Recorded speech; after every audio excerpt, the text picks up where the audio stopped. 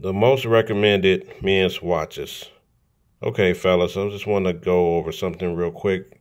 Every woman likes a man with a nice watch on their wrist.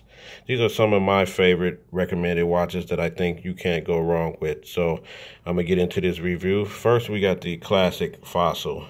This is the Fossil Blue Face stainless steel watch, as you can see. Right here, definitely a, a old time classic right here blue face.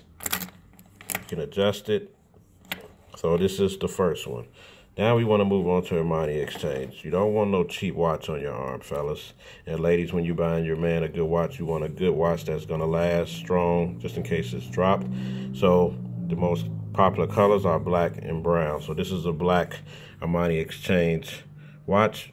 I paid like almost 200 for it, but I'm sure uh, like places like Amazon and online, you can probably get them a little cheaper. So I'm going to put some links below that you can check out uh, where to get these watches for cheap. So this is a black face, black wristband watch. This one is a white face, brown leather band watch. Then we come to the expensive watch, which is the Diesel.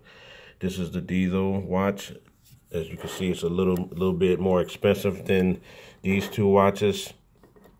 You got the time, stopwatch, different time zones and stuff like that.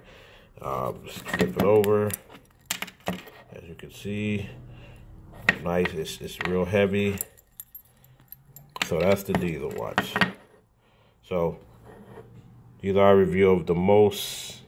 It's not the best because some watches are very expensive, and we're just trying to keep it at a good budget, maybe under 150 to where you can get a nice quality watch and definitely get some heads turned or whatever it is. And these watches are pretty much going to last. So you got your stainless steel fossil, your Armani Exchange black leather band, brown leather band with a white face. And then you have the diesel watch right here. So definitely worth checking out. So check out the links below. Thanks for watching.